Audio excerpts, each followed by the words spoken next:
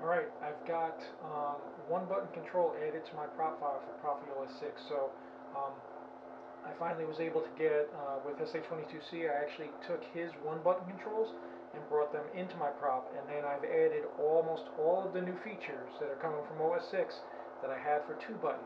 Um, so for everybody who's been using one button, um, I haven't had one button controls. I don't really have any one button sabers. I actually modified this saber just by changing the config to one button.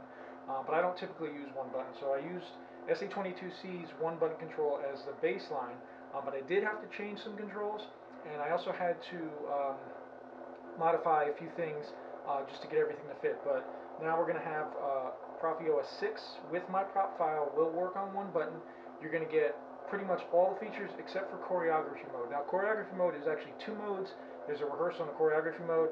Um, having one button uh, I was able to fit everything else in. So I got edit mode in, I got track player, I got real clash, I got battle mode 2.0, um, the scroll presets capability. Uh, what else do we add? Gesture sleep. Um, we don't need power lock. And uh, the quote capability, so the new force quote player, um, and pretty much everything else except for choreography mode. So that because of the limitations of one button, um, there just isn't enough controls available to get choreography mode in here. So if you wanted choreography mode for OS 6, you will need a two-button saber. Um, otherwise, there just wasn't a way to do it. But everything else is in there. Um, I do have a much longer video running through all the new controls. Um, I did change a few things. So in the prop file, there's now a one-button control section.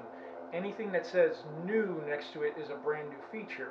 Anything that says new control means that I had to change uh, SA22C's control um, in most cases, I tried to keep everything, but a few of the controls I had to change how they worked in order to free up for other things.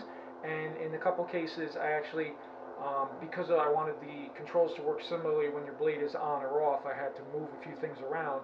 Um, and it did take a while, um, but now we're going to have all the capabilities except choreography mode in one button right out of my prop. Um, so you'll be able to use it in OS 6. OS 6 is just about out of alpha. My one button piece and then a couple other pieces that uh, Fredrik's got lined up are going to finish out alpha testing. Once Fredrik's all done, he will move us to beta testing. Um, so I know a few people who've wanted to wait till beta testing. Beta testing is coming. Um, the one button control is going to be there, so if you wanted to help with beta testing, definitely check out the uh, post in the Crucible. Um, I'll have a link in the description. I also have a link for uh, the full, full uh, explanation of everything in my prop file. Um, I do have a page set for that.